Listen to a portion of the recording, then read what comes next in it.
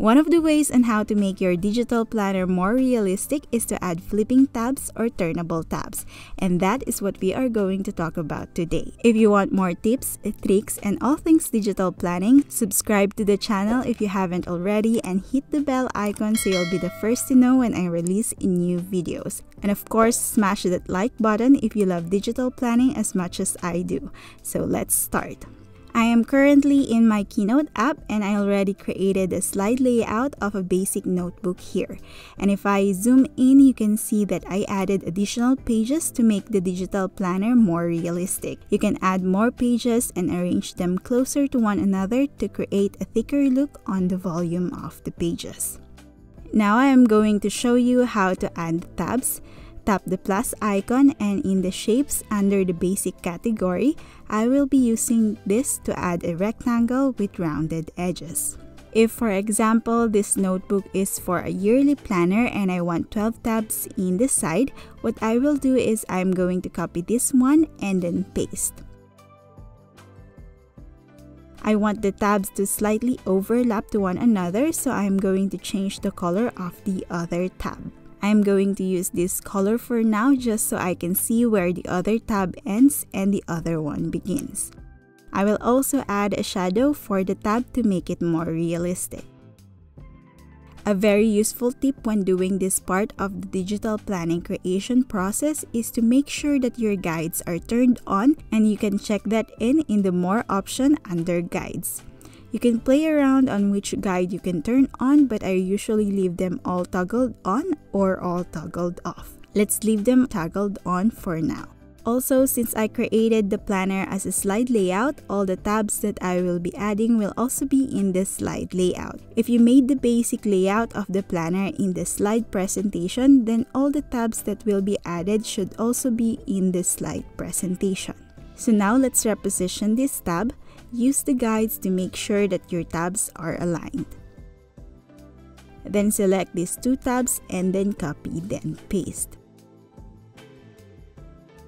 You will reach a point where you haven't added all the tabs yet but the space is already occupied. If so, select all the tabs then group them, then resize. Ungroup the tabs, then select some tabs again, copy and then paste. After adding all your desired number of tabs, group all the shapes again then resize to fit all the tabs. Once I have arranged all the tabs together, I am now going to change their colors. Tap the shape and then in the brush icon under style, change the fill color. We currently cannot add colors to Keynote based on their hex codes, but I found a workaround for this problem. Screen grab or download the picture containing your desired colors and save them in your photo library. In Keynote, tap the plus icon. Under the photo icon, tap photo or video. Then select the image,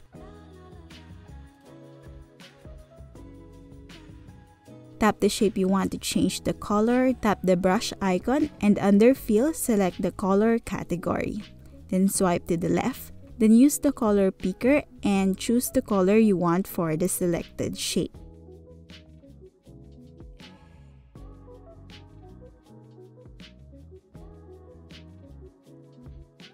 After changing the colors of all the tabs, let's add a label on the tabs. To do that, just double tap the shape, then type in the label. And to change the orientation of the shape, let's toggle on the vertical text.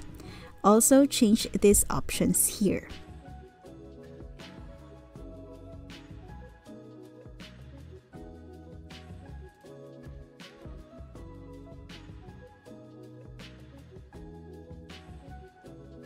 Once all the labels are added, let's arrange all the tabs. The first tab that I will arrange first is the lowest one and I'm going to reposition it behind the last page. To do that, tap the shape and on the brush icon under Arrange, adjust the slider here. If the text is partially hidden or you don't like how it looks, just select all the tabs, then reposition.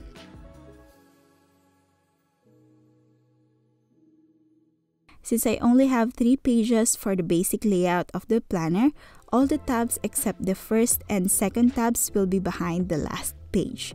For those tabs, I'm still making sure that they are arranged properly.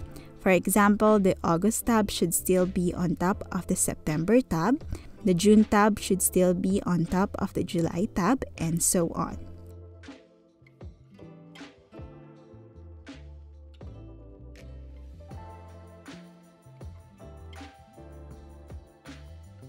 Before we go further, let's duplicate this tab and on the duplicate, let's rename it as first. If you reach this part of the video, I want to let you know that you are amazing and I am personally inviting you on a private Facebook group that I recently created just for you. This digital Facebook group is a creative environment for all tips, tricks, and all things digital planning and it is open to everyone whether you are a complete beginner or a pro. You can check the link in the description box below and on the pinned comment. Let's go back to the video tutorial and select the original slide layout. To make this tab into flipping tabs in your digital planner, select all the tabs, then copy and then paste. Now reposition these tabs to the other side of the page. Use the guides again to make sure that the two sets of tabs are aligned. This time, let's start at the top and change the text arrangement. To change the orientation of the text, we can use the rotate option here and set it to 180 degrees. The other way is to tap this flip horizontally, then tap flip vertically.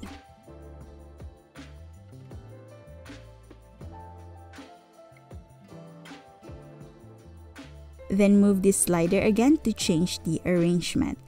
And since this doesn't look good, I am selecting all the tabs and repositioning them again.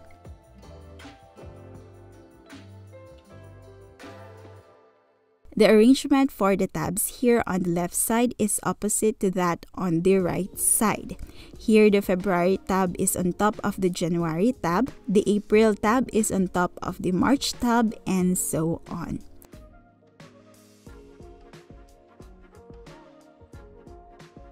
Once you are satisfied with the tabs on the left side, we are going to duplicate this slide layout. Let's rename this as second.